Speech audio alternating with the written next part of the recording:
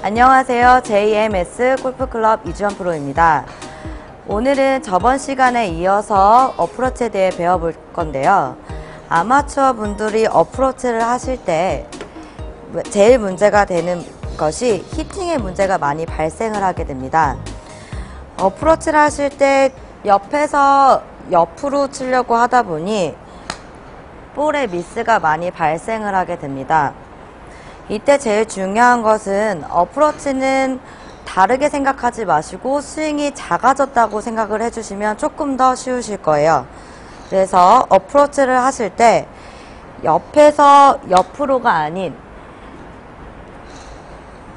샷의 개념으로 위에서 아래로 다시 말해 위에서 아래로 몸쪽으로 회전을 해주시는 게 어프로치지 옆에서 옆으로 들어가는 것이 어프로치가 아닙니다. 어프로치의 개념은 내가 공을 멀리 보내는 것이 아니라 내가 좀 더 핀에 가깝게 붙이는 게 어프로치이므로 옆에서 옆으로 치는 것보다는 위에서 아래로 위에서 아래로 치셔야지만이 볼 컨택이 정확하게 들어가서 내가 보내고자 하는 거리를 조금 더 정확하게 보내실 수가 있으십니다.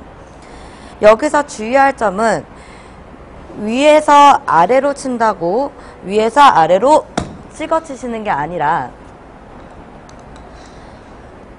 위에서 아래로 지나가듯이 치셔야 됩니다.